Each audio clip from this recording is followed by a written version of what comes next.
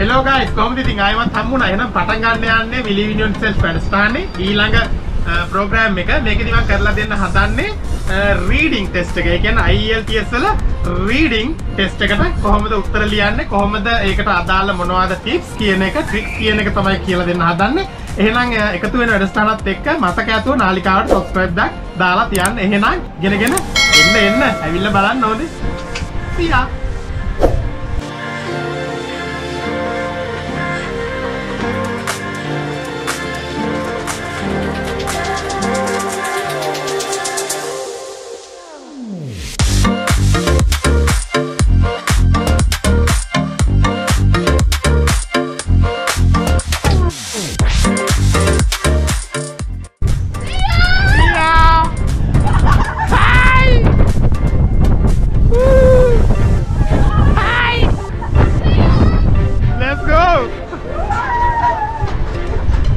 හරි. ඊළඟට කතා කරන්න හදන්නේ රීඩින් ගැන. රීඩින් ගත්තාම ප්‍රශ්න 40ක් තියෙනවා.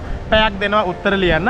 ඇකඩමික් රීඩින් එකයි ජෙනරල් රීඩින් එකයි වෙනස්. සාමාන්‍යයෙන් ඇකඩමික් රීඩින් එක අමාරුයි. මම ජෙනරල් අයට නම් කියන්නේ පුළුවන් නම් ඇකඩමික් රීඩින් එක ප්‍රැක්ටිස් කරන්න කියලා.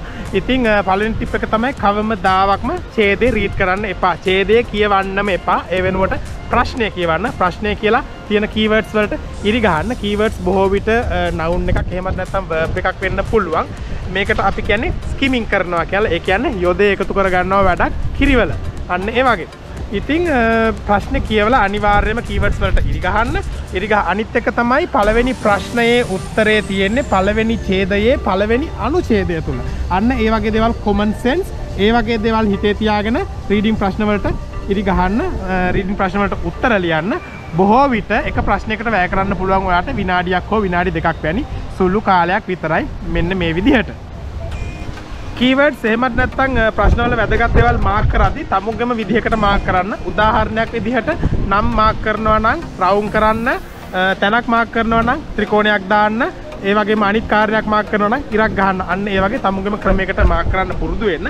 අනිත් එක තමයි අමාරු ප්‍රශ්න මැත්තේ නැහි නැහි ඉන්න එපා. ඊළඟ ප්‍රශ්නෙට යොමු වෙන්න වෙලාව ඉතුරු වුනහම ඒ වගේ ගිහිල්ලා ඊළඟ ප්‍රශ්න ඉවර කරලා එනකොට ආපහු ඊට- අර ප්‍රශ්නෙට උත්තරේ මොලේ විසින්ම ඔයාලට සම්පාදනය කරලා දීලා තියෙයි. අනිත් එක තමයි ඉංග්‍රීසි ගොඩක්ම අවුල් නම් අ, ඉස්සෙල්ලම පටන් ගන්න අ, පොඩි පන්ති වල තියෙන පෙළ පොත් ඉංග්‍රීසි පෙළ පොත් වල කම්ප්‍රිහෙන්ෂන් ඡේද කරන්න ඒවා කරලා පුරුදු වෙන්න වැඩේ ගොඩ දා ගන්න පුළුවන් බය වෙන්න එපා. හරියට රීඩින් ටෙස්ට් එකක් කරපු එක්කෙනෙක්ට විභාග ඉවර වෙලා ආවහම ඡේදෙ තිබ්බ කිසිම දෙයක් මතක නැහැ. කොටින්ම කියනවා නම් ඡේදෙක් තිබ්බේ මොකද්ද කියලාවත් දන්නේ නැහැ. අන්න ඒ තත්ත්වෙට තමයි පත් වෙන්න ඕනේ. මොකද රීඩින් වලදී අපි කවදාවත් ඡේදෙ රීඩින් කරන්නේ නැති නිසා. එහෙනම් අ, ඒ වගේ රීඩින් කරලා මේ ටිප්ස් ටික අරගෙන පාස් වෙන්න try එකක් දෙන්න. හරි එහෙනම් රීඩින් ගැන ඉගෙන ගත්තනේ එහෙනම් ඊළඟ සතියේ මම කරන්න හදන්නේ රයිටින් ටාස්ක්ස් ගැන එහෙනම් අ, පාඩම් මාලාවත් එක්ක එකතු වෙලා ඉන්න මම මේ පාඩම් මාලාව කරන්නේ අ, ගොඩක් කට්ටිය මට කිව්වා IELTS පාඩම් මාලාවක් කරන්න කියලා. ඉතින් ඒක හින්දා මම මේක කරන්නේ. අ, එහෙනම් ජය වේවා මතක ඇතුව නාලිකාවට subscribe පාරක් දාලා තියෙන රොකී ශානක. එහෙනම් uh, all the best for your IELTS exams. See ya!